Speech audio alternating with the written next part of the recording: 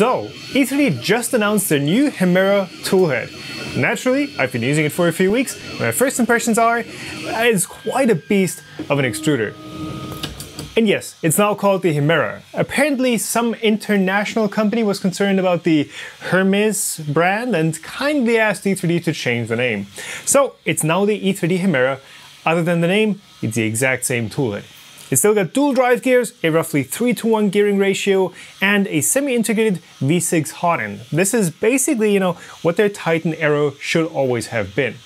It's also very affordable at 90 British pounds, so just over 100 euros for the extruder with a full V6 hot set and the stepper motor included. If you're thinking about getting a genuine V6 hot end, really just get the whole Hemera kit. They've also changed how the extruder is mounted versus the Aero. So, uh, you know, it's flat on both sides, there's nothing sticking out, and that does make it pretty convenient and very universal to mount. I've already put it on a Raptor 2.0 with the Super Volcano because the stock hot end and extruder were absolutely useless on that machine. And I've also put it on the ANET A8 because E3D reached out and wanted to sponsor a conversion guide for that. So that's what we're going to do today. The A8 is getting the Hemera upgrade. And while we're at it, the printed upgrade parts I've designed will also be fixing the crooked belt path, add strain relief to the extruder wiring, and because we're adjusting the firmware anyways, let's just upgrade that to Marlin 2.0 with all the safety features in place. The upgrade parts also retain compatibility with the original part cooling fan shroud, you know, this one if you want to use that, and most of the ones that you can download as upgrade parts for the stock A8, and it should also allow you to keep using the bed leveling sensors that mount to the back of the carriage. This video is sponsored by E3D, let's get to it. For this upgrade, you'll need an ANET A8, a Hemera kit, four M3x5 or M3x6 screws, and either a soldering iron or a spare 3-pin DuPont connector housing. You also need a Phillips 2 screwdriver, a 7mm, 10mm and 16mm spanner, and a few hex keys. First, let's disassemble the original toolhead undo the locking nut on the original heat break, and remove the screw at the bottom that's holding the extruder body in place. Unplug the motor, we'll be reusing the original motor cable. Also remove the part cooling fan, but we will be reusing that too. If you have any bed leveling sensor mounted to the back of the carriage, unscrew that before unbolting the carriage from the bearing blocks. Once that's loose, clip off the zip ties holding the belt in place and you should be free to remove the stock carriage from the printer. To prepare the Hemera mounting kit, all you need to do is to break the little support rings loose from the new carriage. All the other parts should be ready to use straight off the printer. For the Hemera itself, rotate the heater block 90 degrees with the long side facing the stepper motor.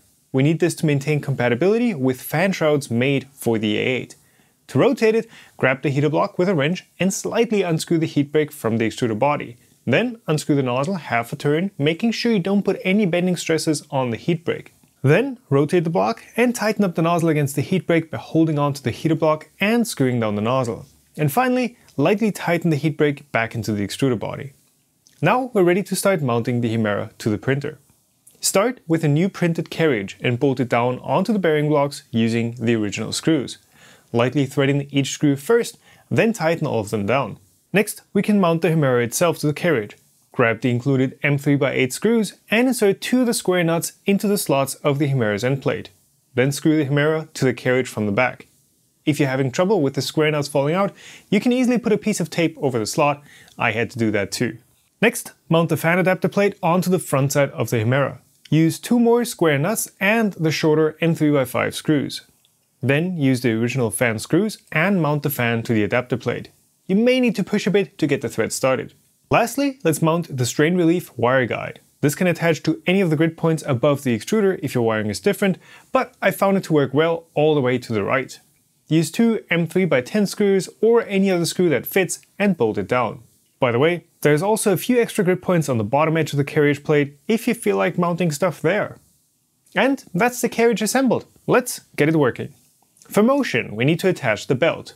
This is a screwless mount. Simply slide the belt in on one side, then grab a pair of needle nose pliers and slide in the other side under slight tension.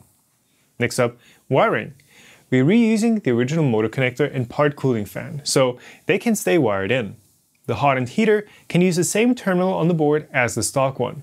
The Hemera comes with ferrules around its wires, which makes this a really clean install. The hot end cooling fan is fairly simple too.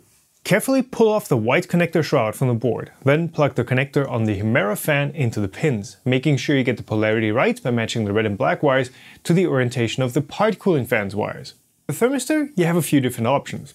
If you have a 3-pin housing for these DuPont style connectors, you can remove the wires from the supply 2-pin housing by bending up these tabs and insert them into the outermost spots in the 3-pin one.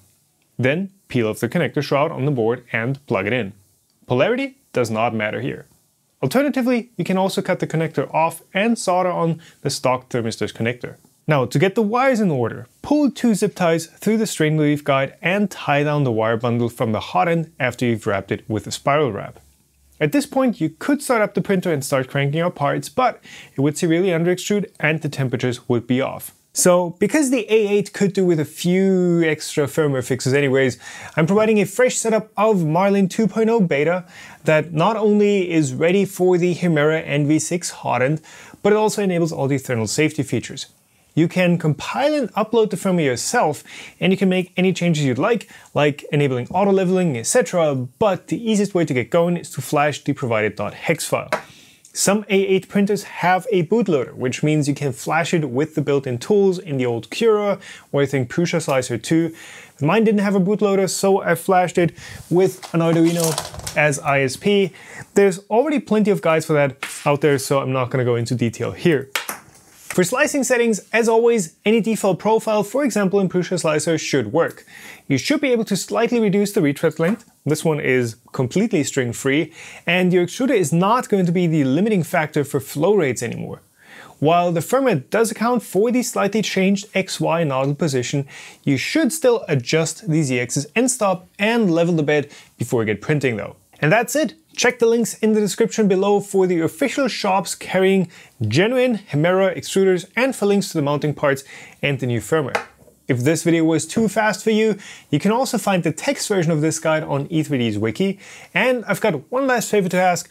I see that over two thirds of you who are watching this content aren't subscribed. So if you're enjoying this stuff, and apparently you do because you've watched this video all the way to the end, maybe just click that subscribe button and YouTube is now giving you pretty good control over what notifications you want to get for a channel with that bell menu. None, algorithm recommended, or just straight up all of them. Just pick the one that suits you best. Obviously, all, right? so, if, if you want to keep going with upgrading the A8, the internet has guides for replacing the electronics, the frame, the linear rails, belts, display, power supply, wiring, you know, every part of the printer. But first of all, make sure the wiring, especially for the heated bed, is safe and won't break over time. But that's it for this one. Thanks again to E3D for sponsoring this guide. Hope you enjoyed, and I will see you all in the next one. Bye!